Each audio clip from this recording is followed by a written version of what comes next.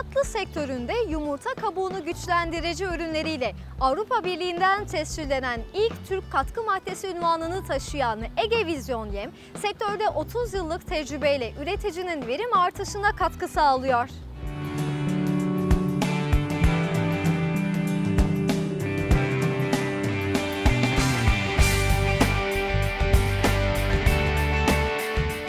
Katkı maddeleri konusunda uzmanlaşan Ege Vizyon Yem, hayvancılık sektöründe küçük baştan büyük başa, su ürünlerinden kedi köpeğe her canlının daha sağlıklı gelişim göstermesi amacıyla 30 yıllık tecrübesini nihai ürüne dönüştürürken sektöre hizmeti öncelik kabul ediyor.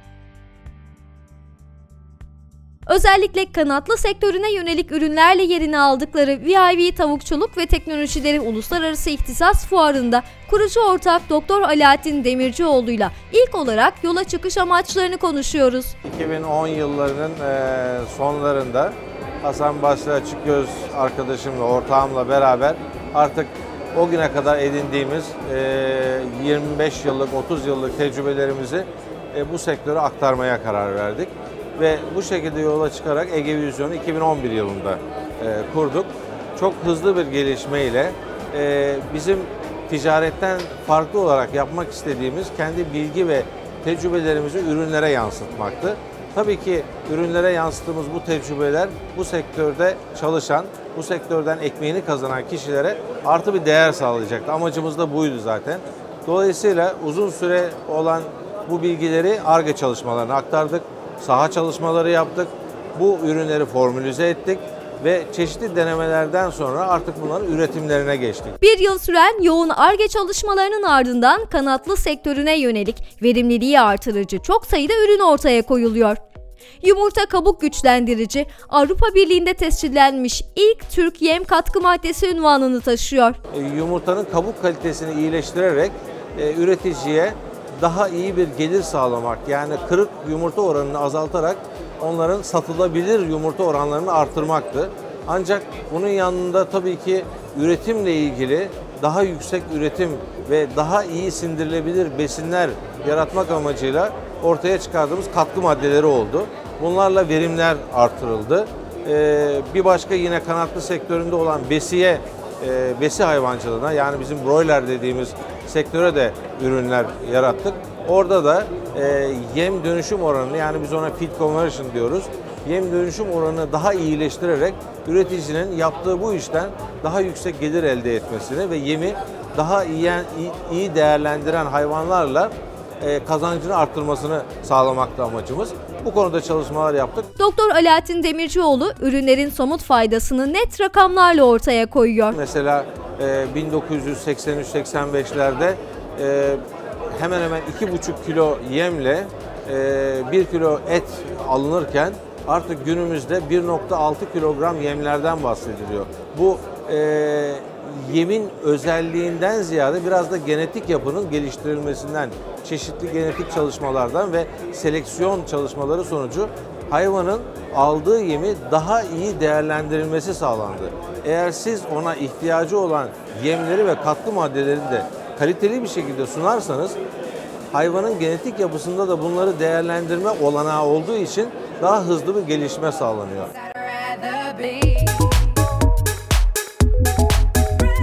Doktor Alaaddin Demircioğlu ürünlerinde kesinlikle kimyasal ve antibiyotik kullanmadıklarının altını çiziyor. Dünya trendi e, kimyasallardan artık kimyasallar ve antibiyotiklerden vazgeçilerek daha daha çok herbal kökenli dediğimiz bizim e, bitkisel ekstraklara dayalı ürünler. Bizim ürünlerimiz de e, gerek e, herbal ekstraklardan elde edilen ve de e, mikrobiyal kökenli ürünler. Yani hiçbir şekilde bizim hiçbir ürünümüzün içinde e, kimyasallar ve antibiyotikler yok. Zaten dünya artık bundan vazgeçmiş durumda.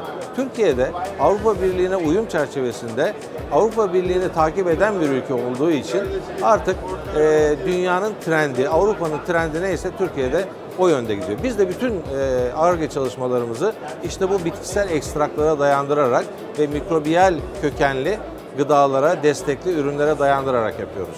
Genetik sözcüğünün geçmesi tedirginlik yaratmamalı diyen Doktor Alaaddin Demircioğlu konunun bilimsel açıklamasıyla soru işaretlerini gideriyor. Hormon bir kere kesinlikle söz konusu değil. E, tavukçulukta da genetiği değiştirilmiş organizma diye bir şey yok. Ancak e, bu konuda yapılanlar genetik çalışmalarla birlikte yani hayvanların genetik yapısındaki e, iyileştirmelerle birlikte ki bu yüzyıllardır yapılan şeyler önceden çok daha fazla yemle daha e, az yumurta verimi elde edilirken bugün çok daha ileride bu konular. Bu konular yasal e, genetik çalışmalar e, prosedüründe olan şeyler. Biraz önce söylediğim gibi eğer bunlara bir de o yapıya uygun besin maddesi sağlayabilirseniz ve onları e, hayvan tarafından daha iyi sindirilmesini sağlayabildiğinizde doğal ürünlerle çok daha sağlıklı e, gıdalar, e, protein, hayvansal proteinler üretmeniz mümkün olabiliyor. Çevreyi önemsiyor, çevreci üretim anlayışını benimsiyoruz diyor Doktor Alaaddin Demircioğlu. Çevre kirliliğini önlerken insan sağlığını da göz önünde bulunduruyoruz diye devam ediyor. Hayvanlara verdiğiniz kimyasallar veya antibiyotikler neticede onların dışkılarıyla e, çevrenize, etrafa, toprağa, suya ve havaya karışıyor. Bunları ne kadar az kullanırsanız dışkı vasıtasıyla çevrenizde o kadar az kirletirsiniz.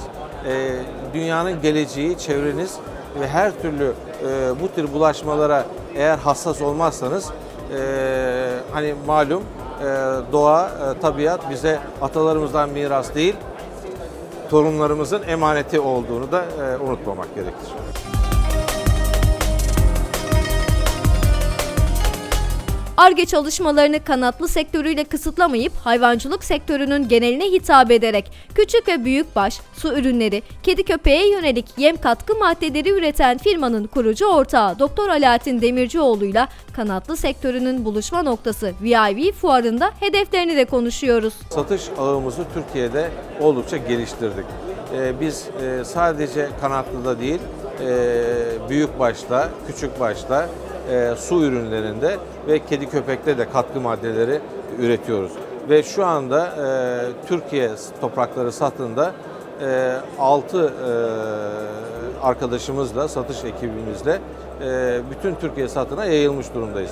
Bundan sonraki hedeflerimiz biraz daha yurt dışına e, taşmak. Bu konuyla ilgili olarak da e, hemen hemen e, tespit ettiğimiz lokal e, fuarlara, e, uluslararası fuarlara katılıyoruz.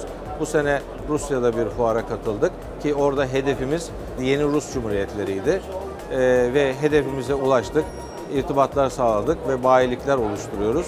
Bir de yine yakın çevremizdeki olan ülkelerden Kuzey Afrika ve Orta Doğu'ydu. E, hem bu fuarla hem de Mısır'da katıldığımız bir fuarla e, bu amacımıza da ulaşmayı e, düşünüyoruz. Çok iyi e, feedbackler alıyoruz, çok iyi e, geri dönüşler alıyoruz. İnşallah bütün e, ağımızı ülkemizin etrafında e, kurarız e, ve şirketimizi daha yararlı, etrafımıza daha yararlı hale getiririz diye umuyoruz. Doktor Alaaddin Demircioğlu sözlerini noktalarken çevre vurgusu yapıyor. Bundan sonraki dünya trendi daha ucuz maliyetli ve daha yüksek verimli ürünlere yönelik olması nedeniyle etrafınıza zarar verecek, çevrenize zarar verecek ürünlerden ziyade bütün ülkelerin de çabalarını sarf ettiği gibi bizler de ve Türkiye'de de bu tür eee, bu bu alanda çalışan sektörlerin de yapması gerektiği gibi eee, lütfen kimyasallardan ve antibiyotiklerden uzak daha sağlıklı, daha doğaya yönelik ürünler kullanarak daha sağlıklı eee, gıdalar, daha sağlıklı hayvansal proteinler e, üretelim ve çevremize önem gösterelim diyorum.